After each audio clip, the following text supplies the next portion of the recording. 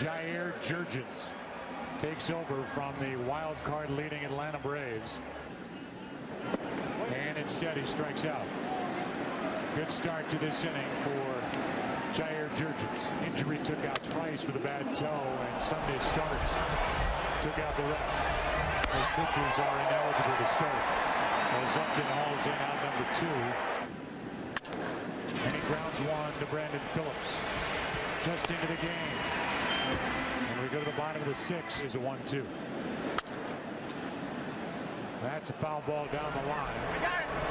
Joey Votto says he's got it. He does. One out.